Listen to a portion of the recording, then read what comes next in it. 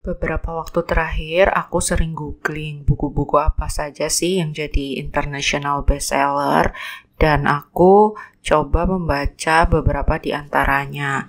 Salah satu yang aku baca adalah bukunya Vex King yang berjudul Good Vibes, Good Life.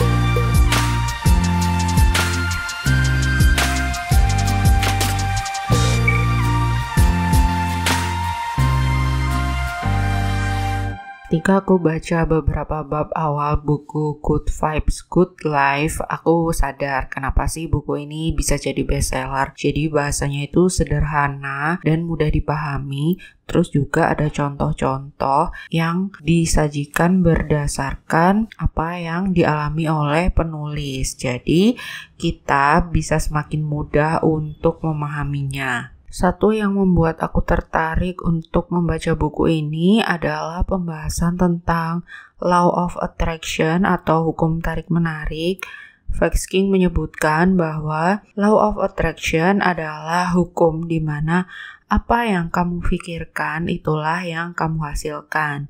Kita bisa menarik hal-hal yang kita inginkan dalam hidup dengan mengarahkan atau memfokuskan pikiran kita terhadap hal itu. Jadi, ketika kita memikirkan sesuatu sebaiknya adalah hal yang kita inginkan.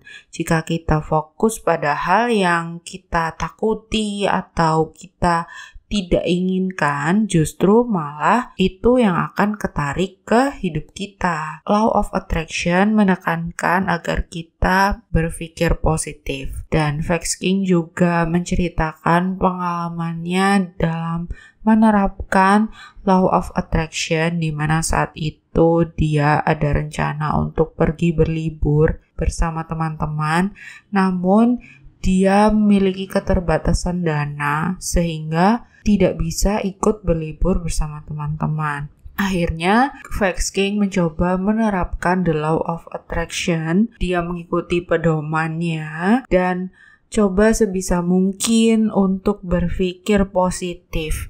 Tak disangka tak diduga, seminggu kemudian setelah menerapkan ada surat pemberitahuan dari kantor pajak bahwa dia lebih bayar pajaknya dan Vex King mengikuti seluruh prosedur untuk mendapatkan pengembalian pembayaran pajak. Setelah itu, dia berusaha untuk melupakannya. Dia berusaha untuk cari kesibukan yang positif, menjaga vibrasinya agar tetap positif, sudah pasrah apakah nanti uang itu datang atau enggak. Dan akhirnya beberapa waktu sebelum tiket liburan itu dipesan uang pengembalian pajaknya datang. Dan akhirnya dia bisa ikut liburan dong. Dari yang pertama dia nggak tahu mau dapat uang dari mana ya. Terus dia menerapkan law of attraction berpikir positif. Akhirnya dia bisa mewujudkan keinginannya untuk pergi liburan bersama teman-temannya. Selain pembahasan tentang Law of Attraction, yang menarik perhatianku dari buku ini adalah pembahasan soal vibrasi atau getaran. Dalam buku ini disebutkan bahwa pikiran kita bisa mempengaruhi hidup kita diri kita terbentuk dari getaran pemikiran yang kita ambil dan kita tunjukkan.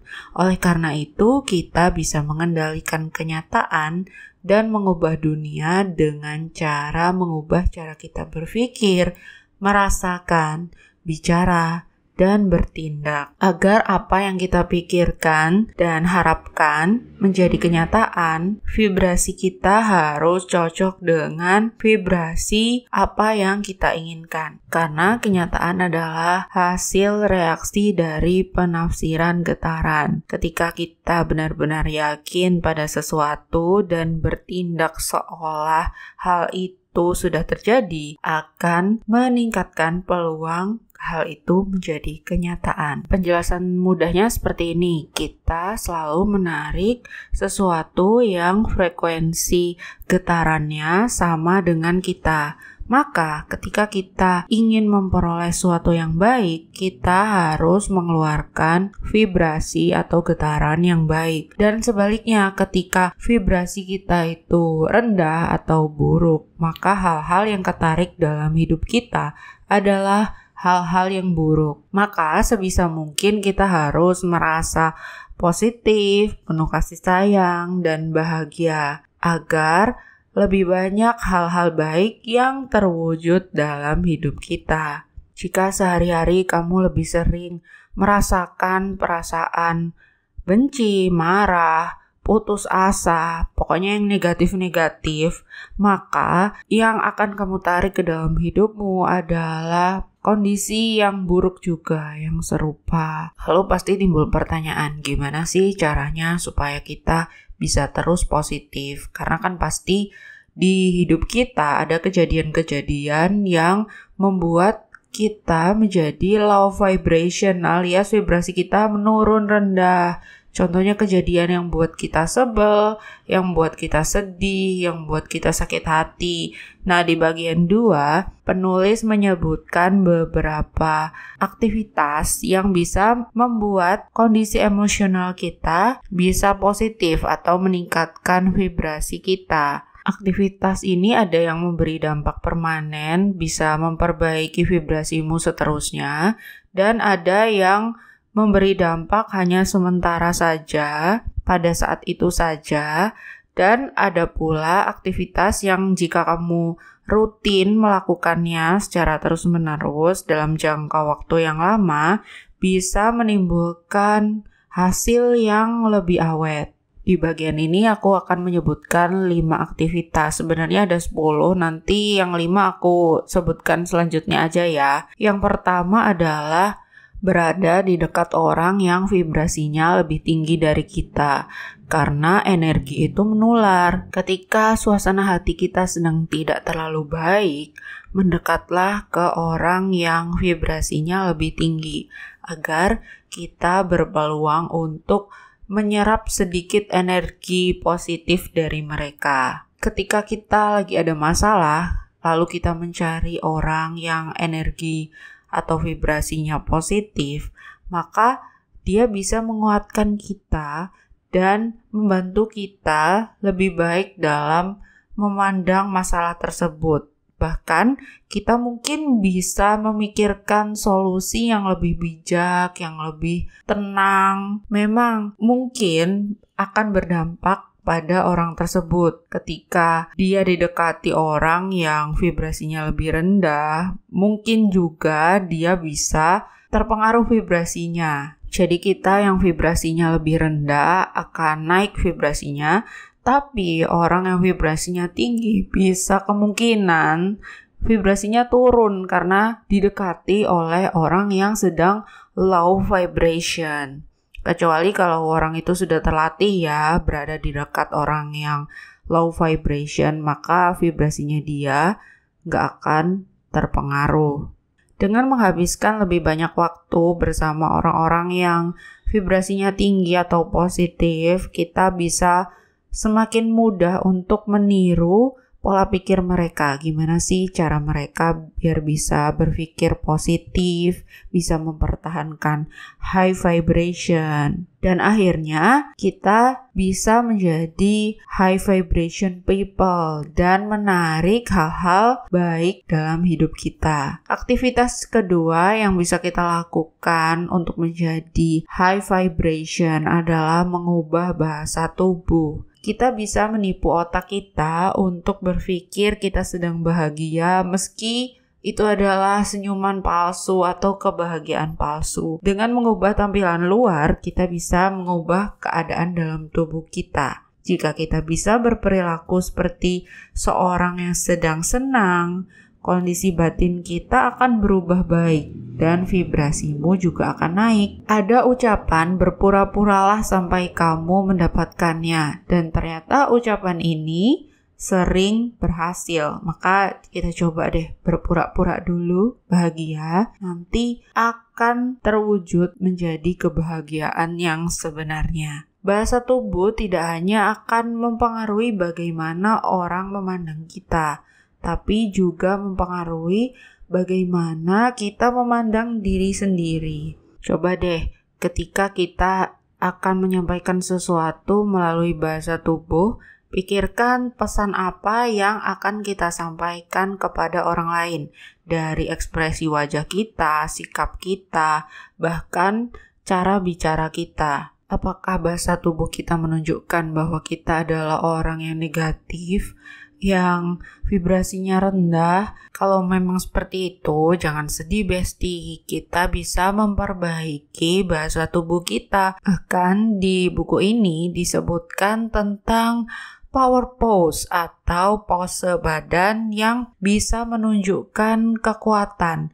Ketika kita setiap hari berlatih melakukan power pose selama 2 menit, kita bisa meningkatkan hormon percaya diri dan menurunkan hormon stres. Maka cukuplah kita berlatih untuk bersikap percaya diri dan lebih positif maka apa yang kita latih perlahan-lahan akan bisa menjadi kebiasaan dan mewujudkan sikap positif dan percaya diri yang sebenarnya. Aktivitas yang ketiga adalah meluangkan waktu untuk beristirahat dan keluar rumah. Terkadang kita merasa telah menghabiskan banyak waktu untuk berinteraksi dengan orang lain, sehingga kita ingin menyendiri sejenak, atau kita merasa terlalu banyak melakukan aktivitas atau interaksi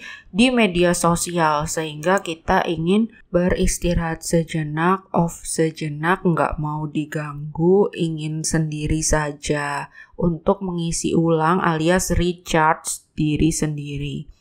Tidak perlu merasa tidak enak dengan kebutuhan seperti itu, karena dengan kita menyendiri tidak hanya bermanfaat untuk diri kita, tapi juga bermanfaat bagi orang lain.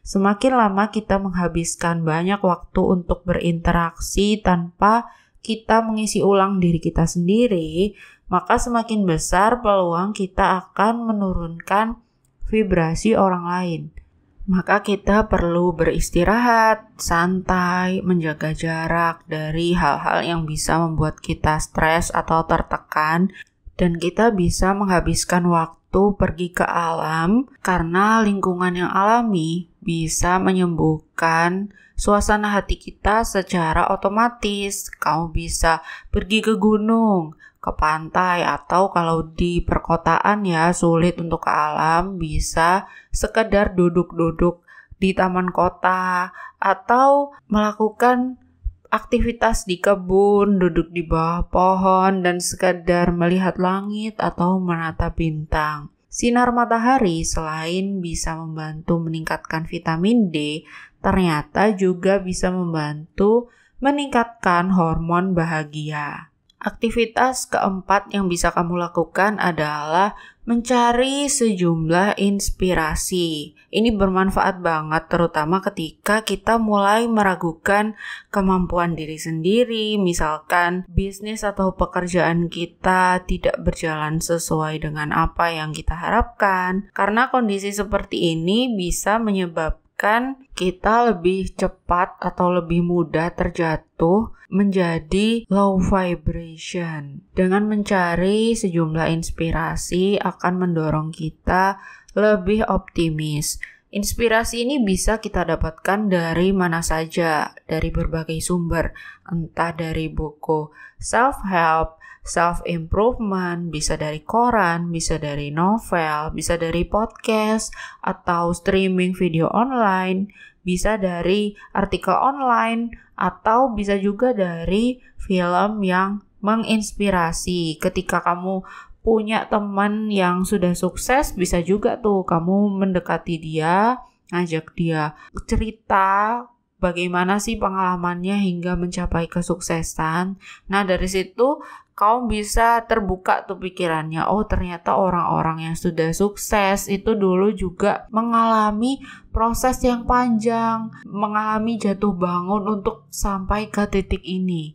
Dengan begitu, kamu akan lebih optimis dan tidak menyerah dengan kondisi yang sedang kamu hadapi saat ini. Aktivitas kelima yang bisa kamu terapkan untuk menjaga vibrasi kamu tetap positif adalah menjauhi gosip dan drama. Kayaknya ini sulit ya, karena gosip dan drama sudah jadi kebiasaan di masyarakat kita. Penulis menyebutkan jangan bergosip apalagi sampai menikmati aktivitas bergosip karena aktivitas bergosip itu menurunkan vibrasi kita. Orang yang bergosip sebetulnya hanya menyukai kehebohan saat dia mendengar isu yang menarik tentang seseorang, lalu dia bisa meneruskan isu itu kepada orang lain, menyebarkannya, dan mendapat reaksi dari orang lain. Seringnya orang yang suka bergosip ini adalah orang yang suka menghakimi, suka menilai sembarangan, dan suka membenci orang lain. Mereka terlihat suka mengeluh dan merasakan kesenangan dalam penderitaan. Nah, gimana tuh menderita kok malah senang? Sebisa mungkin kita harus menjauhkan diri dari aktivitas membicarakan orang lain, atau kamu bisa mencoba mengarahkan pembicaraan tentang orang lain itu ke sesuatu yang positif dari diri dia. Karena ketika kita membicarakan orang lain dari sisi yang negatif, maka kita mengeluarkan energi yang negatif, menurunkan vibrasi kita sendiri, dan akhirnya malah menarik lebih banyak kejadian yang tidak menyenangkan dalam hidup kita. Juga jangan masuk ke drama yang tidak perlu karena bisa meningkatkan stres dan kecemasan.